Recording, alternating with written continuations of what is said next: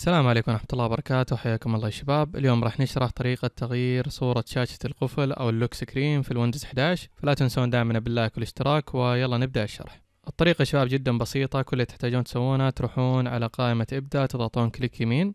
راح تفتح معاكم هذه القائمة من هنا تروحون على خيار ال settings أو الإعدادات. بعد كذا من هنا على اليسار تضغطون على هذا الخيار. راح يفتح معاكم بهذه الطريقة. من هنا يا شباب تروحون على خيار ال lock screen أو شاشة القفل. فراح تفتح معاكم هذه الواجهة. عندنا الخيار الأول هنا. هذا الخيار التلقائي اللي هو الخاص بالويندوز نفسه. فراح يتم تغيير الصور بشكل تلقائي. فنضغط عليه. راح تطلع معنا ثلاث خيارات. الخيار الثاني إذا حابين أنكم تختارون صورة مخصصة من الجهاز. فعندكم هنا صور مقترحة تقدرون تختارون مثلا هذه الصورة أو هذه حسب اختياركم.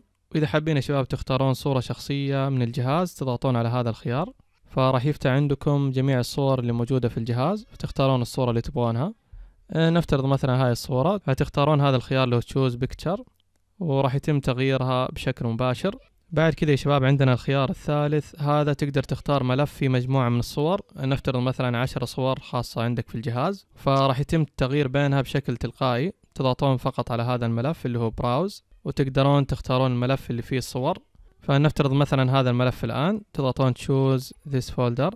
فراح يظهر معاكم هنا بهذه الطريقة. الآن عندنا ثلاث ملفات موجودة فيها صور راح يتم تغييرها بشكل تلقائي. فإذا حابين انكم مثلا تحذفون هذا الملف تضغطون remove وراح يتم حذفه بشكل نهائي. ويكون بس موجود عندكم ملف واحد يتم تغيير الصور فيه. فهذا كان يا شباب شرح تغيير صورة شاشة القفل بكل اختصار. إذا حابين تعرفون أكثر عن الويندوز أو التطبيقات الأخرى اشتركوا معنا في القناة. نشوفكم على خير. مع السلامة.